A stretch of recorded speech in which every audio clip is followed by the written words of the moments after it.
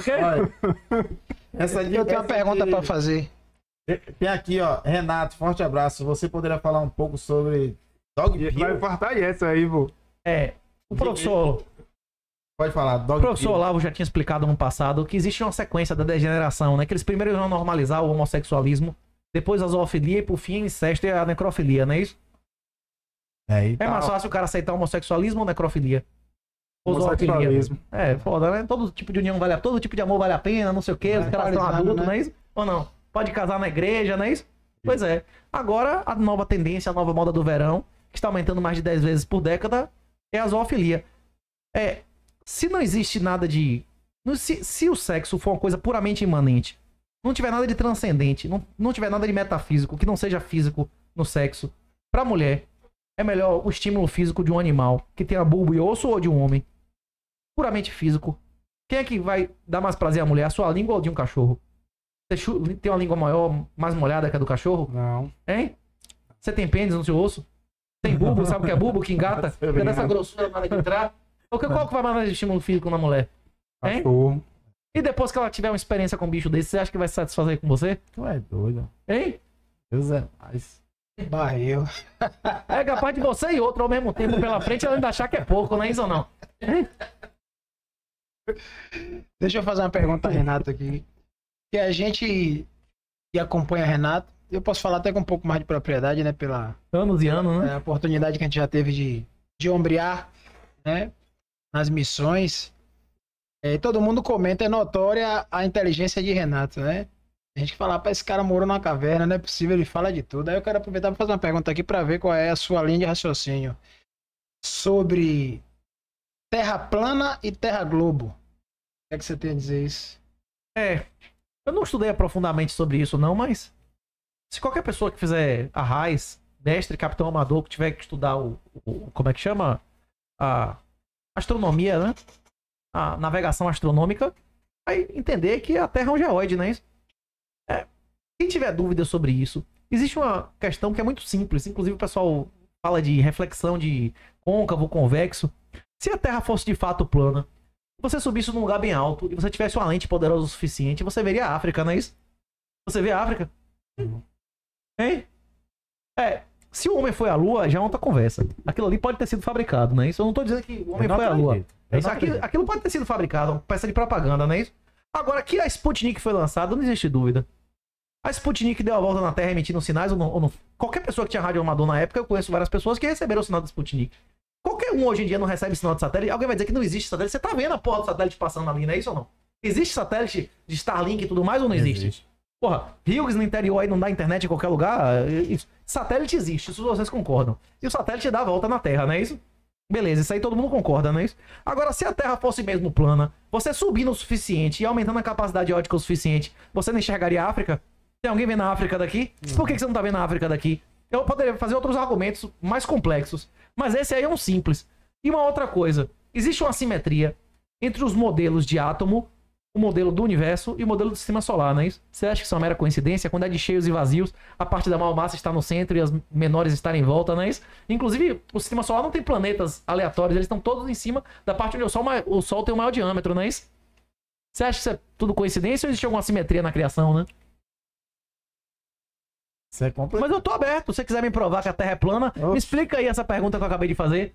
Não tem lugares muito altos aqui que você pode botar uma, uma, uma, uma lente que, inclusive, você consegue enxergar pra cima, aumentar absurdamente daqui pra Lua. Então faça isso. Suba aí. Por que, que você não, aí, consegue? aí eu, dou- aí eu, eu já faço, eu já faço o seguinte: suba no prédio mais alto de Camaçari, prédio redondo, e tente ver Pega o Salvador. redondo, como é? O prédio redondo. Ah, prédio redondo, entendi. Pega o redondo. O prédio redondo, suba no prédio redondo e tente, e tente ver Salvador. Existe Que um... tá 34, 40, 40, 40 É isso. quilômetros. Tanto sinal de radar, tanto sinal de radar é 2 raiz quadrada de metros em milhas, contra a, a capacidade visual, que é em milhas raiz quadrada de, de metro. Ex- Existe um limite o quanto você pode enxergar, baseado na altura que você tá. E esse limite você pode verificar empiricamente, subindo em relação ao nível do mar e utilizando instrumentos de, de óticos, que é realmente aquele é o limite, né? Verdade. Se você tiver qualquer dúvida, pega um lugar próximo ao mar que seja alto e você coloca no limite e você vê se você vê além daquilo ali, você não vê, não é isso? Me arranja uma imagem do Porto da Barra ali, suba, bote um balão, suba ali e tira uma foto da África, então, se a porra é plana. o quê? Se fosse plana, você ia aumentando a lente e você ia fazer um zoom, que você ia... não é isso ou não? De Noronha, pronto, tira uma foto de Noronha do Porto da Barra, então, se a porra é plana. Por que, que não tira? Mentira, ok. Eu tava debatendo esse assunto com um amigo e ele me mostrou várias teorias, né? Eu digo, baseado em quê, irmão? Tem, tem alguma ciência que explica isso? Ele me falou, né, que acompanhando canais. Eu digo, pô, beleza, eu vou fazer essa pergunta Renato, né? Mas você concorda que se fosse plano e o cara subisse, sei lá, 100 ou 200 metros pra estar acima de qualquer tipo de barreira física, ele tivesse uma capacidade Sim. ótica absurda. Inclusive, hoje em dia existem lentes absurdas, né? O cara tá, hoje em dia, o, o- tem um microscópio agora, acho que é no Peru, não é isso? Um deserto lá. Os caras estão fazendo um microscópio que vai ver a cor de sistemas solares, meu irmão. Ah, não é isso? Ué. Não é isso? Não tem um telescópio agora, os caras estão levando 20 anos pra construir, que é o maior lente que já foi feita pela humanidade no, no deserto lá, não é? No Peru, não é isso? Vai na Bolívia, um negócio assim, não é isso? Do- Eu não tenho do base Atacama. educacional pra Não sei, não sei. discutir você tem vou pergunta, Bolívia. Tem, tem um negócio de um, de um. É o grande microscópio de não sei o que lá. O grande microscópio não, como é. é que olha pras estrelas, como é o nome do negócio? Telescópio. Telescópio. Pô, Pesquisa aí, o grande telescópio de não sei o que, que é um telescópio que os caras estão fazendo, que é aí, lente que fabricada. Pesquisa Mas aí. é- Você não precisa fazer uma onda dessa, não. Pega um instrumento O desse de maior aumento. telescópio da É isso, tá, tá, ainda não tá pronto, não, mas os caras estão fazendo. Que vai ficar pronto daqui a um ano ou dois. Agora, eu- é, não tem lente de aumento boa hoje em dia barata. Antigamente é uma coisa caríssima, não é isso ou não? Pega uma lente de aumento poderosa e suba aí pra ver se você consegue ver além do limite do, do que seria, do que o, o- do que o, o efeito da, da, da, da- da inclinação não curvatura, permitiria, né? O efeito da curvatura não permitiria. Consiga uma, uma foto dessa registrada bonitinho, você me convence, não é isso? Exato. Tem outra pergunta aqui, ó, do, do lado do, do nosso amigo que mandou lá do Satoshi aqui. 38. Você tem Jesus como Salvador? Crê Reconheço, que ele veio em carne? Reconheço Jesus como meu Senhor e Salvador. Inclusive, eu recomendo, quem tiver alguma dúvida sobre isso, pesquisar sobre a aposta de Pascal. É uma argumentação inexorável pra você acreditar que existe um Deus, não é isso? Se você acreditar e não tiver, não perdeu nada, ainda ganhou. Se você der as costas e ele tiver com razão, perdeu tudo, não é isso? É eternidade. Não tem erro, não é isso ou não? Hein? Como é nome? agora você é evangélico? Aposta de Pascal. É Não, eu me denomino um cristão. Eu reconheço a primazia da Igreja Católica. A Igreja Católica nos trouxe a Bíblia, não é isso? Que- qual foi a igreja que trouxe a Bíblia, que preservou a Bíblia e escolheu os livros durante milhares de anos? Foi a Batista ou foi a Católica? Agora a Católica está pagando os preços pelos seus pecados. A Igreja Católica permitiu ou não a contaminação pelo, pelos padres lança-leite e teologia da libertação? Ele tá... Essa década vai ser a primeira em 500 anos que vai ter mais evangélico católico nesse país. Eles estão pagando pelos, pelos pecados que da igreja, não é isso ou não? Eles permitiram ou não Verdade. permitiram essa imundícia ali? Tem teologia imunda na, na- nos evangélicos também. Como é? Teologia da não sei o que lá integral, como é o nome? Como é o nome dessa teologia de libertação para evangélico? Da missão integral, né? Isso que eles dizem ou não? Ah. Só que, pelo menos, contaminou um pouco menos, né? E como ela é dif- difusa, você pode escolher uma denominação que tá menos contaminada, né? Eu sou cristão. Eu acredito que tem pessoas em todas as denominações que vão ser salvas. Denominações que reconhecem Jesus como Senhor e Salvador. Tem pessoas de boa fé. Inclusive, mesmo uma, uma, uma, uma, uma igreja que os pastores são todos bandidos. Imagine uma, uma, uma igreja dinheirista, teologia da prosperidade. Tem pessoas ali de boa fé, não tem? É. Esse cara não pode ser salvo?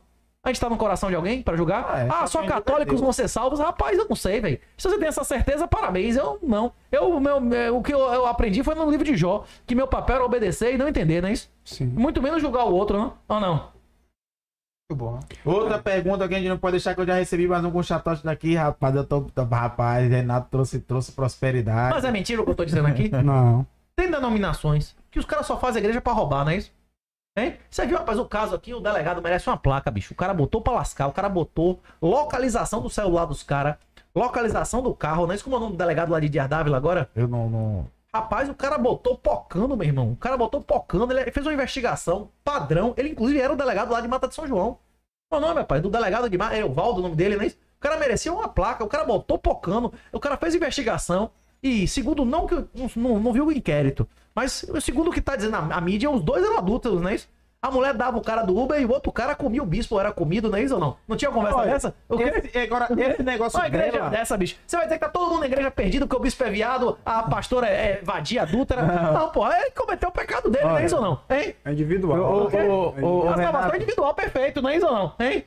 Agora assim, ó, sobre ela, sobre ela não foi provado a, o, a, a questão do adultério. Rapaz, o cara Então, do eu Uber, não- o cara do Uber não disse. E o que, que o cara do Uber ia ganhar dizendo a hora, a porra toda, confirmado lá de localização? Que ele, ele só foi conversar no motel com ela, né? É normal, né? Você vai conversar. Negócio. Esposa vai pro motel com Negócio, o cara do Uber. É negócio, vai fazer regra de negócio. Esposa vai regra de negócio com o Uber no motel, não é isso ou não? Hein? Tu é O doido. Não, o que- você quer o quê? Um vídeo de penetração? O que, que- que tipo de prova você quer, não é isso ou não? Hein? O que, que, o que prova depende. Não, eu não vi mesmo entrando, não é isso ou não? Aí, O quê? Hein? Vem cá, Jean. Sua mulher tá, tá indo pro Uber com o motel, o motel já foi prova suficiente pro cara, você quer ver o vídeo mesmo da onda entrando? É complicado, né, velho? Tem que mas- dar- Não, mas- não contar mais nada. Eu né? lembro agora. Eu não quero ver prova, eu quero ver entrando. Que conversa é essa, velho? Eu lembrei, que ele falou, eu lembrei do agora que tá rolando dos cantores aqui, né? Com a namorada do cantor. Eu que quero prova física, eu vou levar no DPT pra ver o DNA, né? Isso eu quero ver o DNA do sangue dentro dela, não é isso ou não? Cara, né? Foda. Não precisa. O cara teve o do, do baiano, né? Do cantor que, que o baiano. cara do Uber ia, ia- Qual a vantagem do cara dizer que comia mulher, rapaz? Se se meter numa desgraça dessa, ele tá fugindo lá no outro estado? Como é no cara do Uber, rapaz? sei. Você comendo a mulher dessa, ia dizer que comia mulher? Ele diz, não, rapaz, eu só era motorista, não, não, o. Não Gideão. é melhor ou não? Hein? Gideão, pô. É, ele não botava o dele na Pô, reta. você não acha que ele tá no meio de uma confusão do caralho aí agora ou não? Colocaria o dele na reta. Ele diz, não, rapaz, eu sou um Uber normal, qualquer que me chama eu atendo, não é ou não? O quê? Rapaz, Qual a vantagem, velho? Por que, que ele ficou dizendo isso? Sei lá. Mas tá bom.